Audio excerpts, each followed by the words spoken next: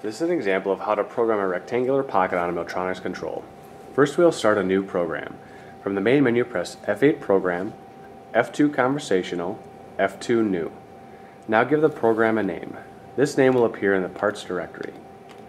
The name may contain up to 24 alphanumeric characters including hyphens and periods. Event 0 is the program setup page. On the Milltronics control, only fields in red must be filled in. The rest are optional. We can choose between inch or metric programming, the stock size is for graphical representation only. This part will be a 4 inch by 4 inch block with XY0 being in the center of the part.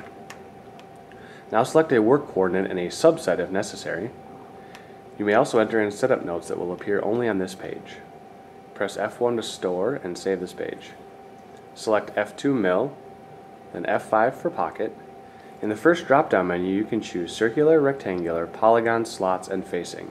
We will use rectangular for this exercise. The next drop-down menu is for clear or finish. Clear plunges in the middle of the pocket and spirals outward. Finish plunges in the middle and makes a single pass at the finished pocket dimensions. Determine a Z feed rate.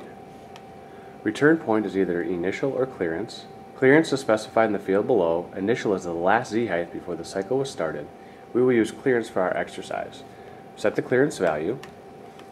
The Z-down method is another drop-down menu. The choices are either plunge or ramp. Ramp allows you to specify an angle of entry for the tool. Select a final Z depth. If 0 is the top of the part, this value should be negative.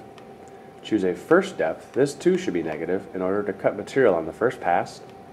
Select a depth increment. This may be positive or negative. The control knows to feed down. Set the XY feed rate. Define the pocket center define the pocket dimensions, select a corner radius. This must be the same size or larger than the radius of the tool being used.